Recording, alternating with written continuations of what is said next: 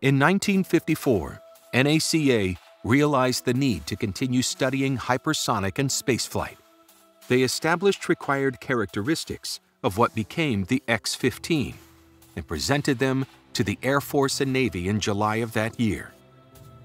Before year's end, NACA, the Air Force, and the Navy entered into a tri service agreement to develop and fly three X 15 research planes.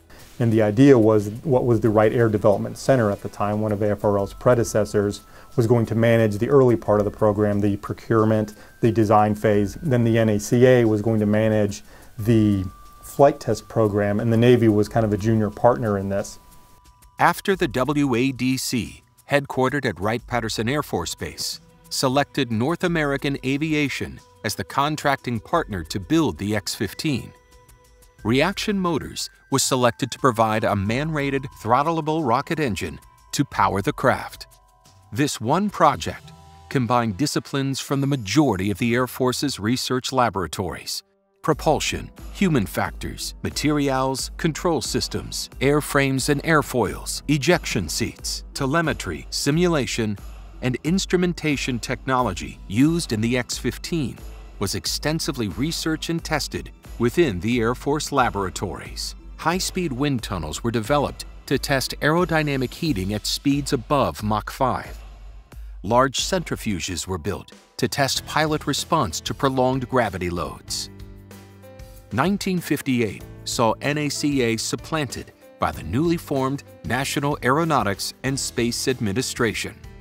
And the following year saw the first X 15 delivered to the NASA High Speed Flight Station at Edwards Air Force Base in California. Scott Crossfield, North American Aviation senior test pilot, made the first unpowered glide flight of the X 15 on June 8, 1959.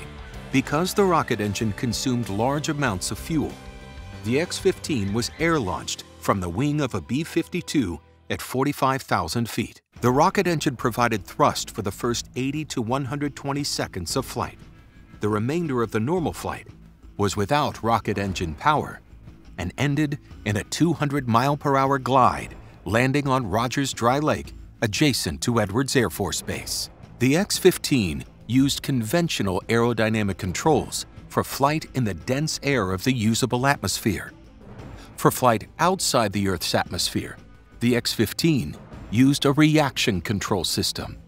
Pitch and yaw controlled the attitude of the airplane. Um, and uh, and the, the roll thrusters control the roll as you swept back and forth because, of course, the aerodynamic surfaces had no effect whatsoever at those altitudes. The X 15 was the first X plane program to use a realistic flight simulator to plan and practice mission profiles. The, uh, the simulator let us not only plan flights, uh, plan out flights, but practice flights and to see where deviations were beginning to build up and take those deviations out and nullify them out as much as possible. Twelve pilots flew the X 15 over its career, with eight earning their astronaut wings by flying the aircraft into space. Neil Armstrong, one of the first to fly the X 15, would later become the first man to set foot on the moon. Joe Engle, a later addition to the X 15 pilot fraternity, logged over 225 hours in space on the Space Shuttles Columbia and Discovery. The X 15 flew 199 times over an eight year period. Technology and techniques developed for the plane would influence the space shuttle and other spacecraft. By the time you got to Mach 8, you had been to Mach 6 in the X 15, and the profiles were identical. The, uh, the glides were identical. We used air, same airspeeds, same height to set up the overhead approach. Uh, but the confidence was already there. we we, we had routinely brought back the X-15.